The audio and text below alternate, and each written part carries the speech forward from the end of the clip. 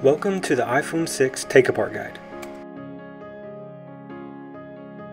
First remove the two pentalobe screws at the bottom.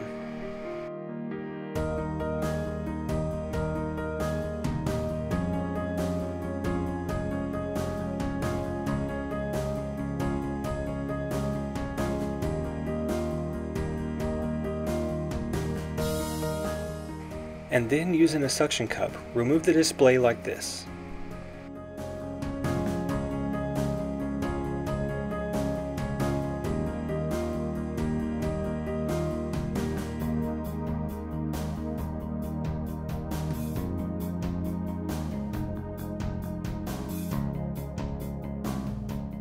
Once the iPhone is open, you will first want to unplug the battery. To do this, remove the two Phillips screws from the shield holding down the battery connector. Now remove the shield. Then using a nylon spudger tool, unplug the battery.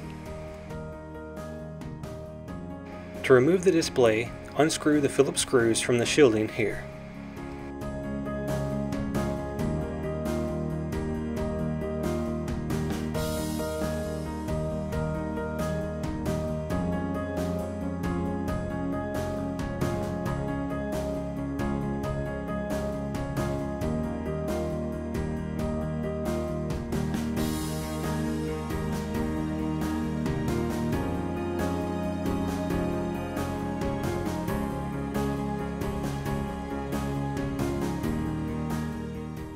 Now remove the shield. Now use your nylon spudger tool to remove all the connectors.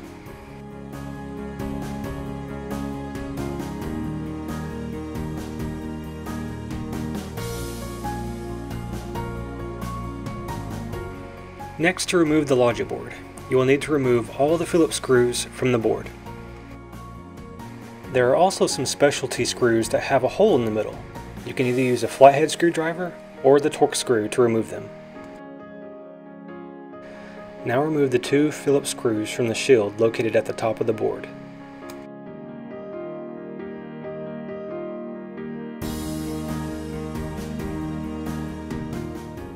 Remove the shield and then use your nylon spudger tool to remove the two cables.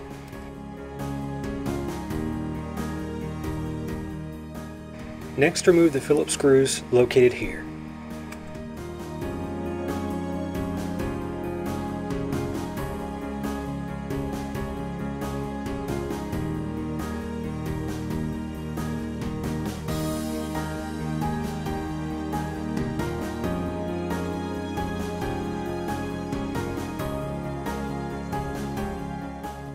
Now remove the Phillips screws from around the camera.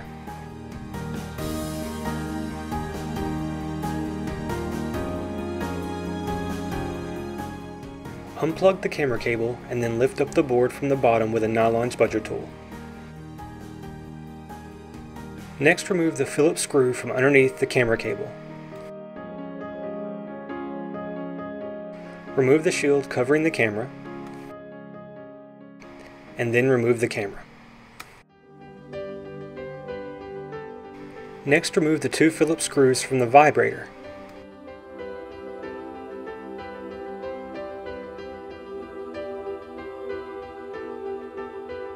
and then remove the vibrator.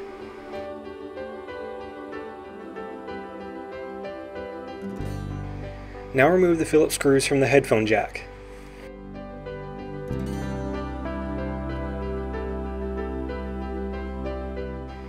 And then remove the screws from the speaker assembly.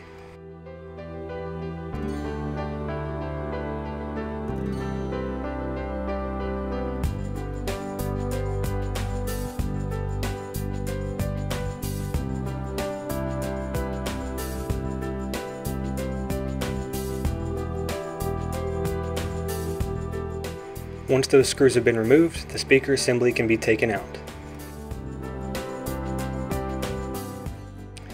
Now remove the remaining screws.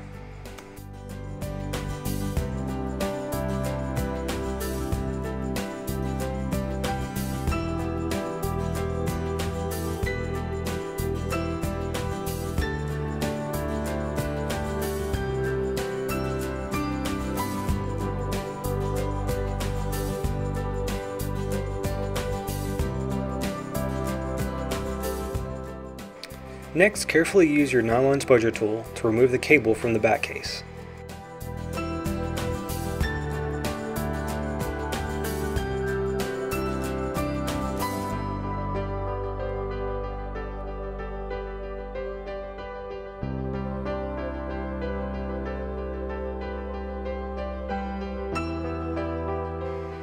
Then use your spudger tool to remove the microphone from the back case. Now the headphone assembly and lightning cable will come out.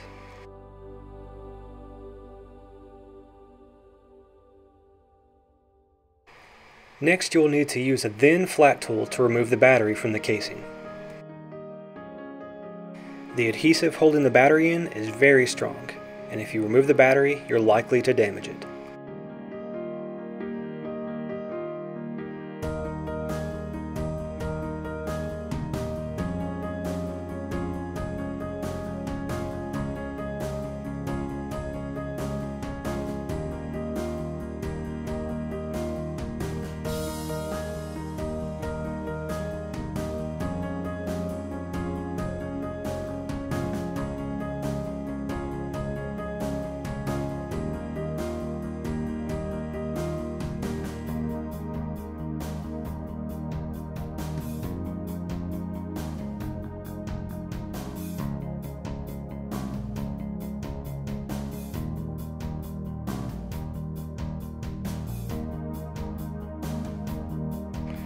Once the battery is removed, you can then remove the adhesive from the back case.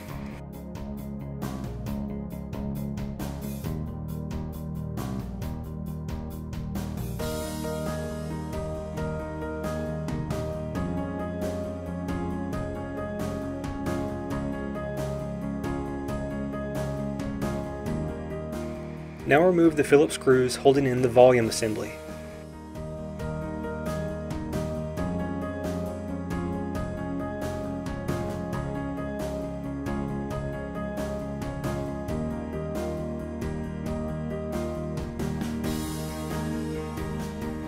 Next, carefully use your spudger tool to remove the cabling from the casing.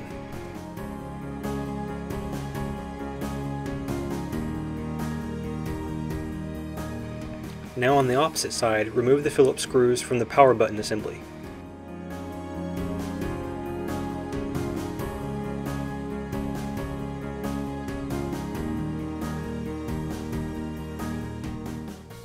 And then using your spudger tool, carefully remove the cable from the back case.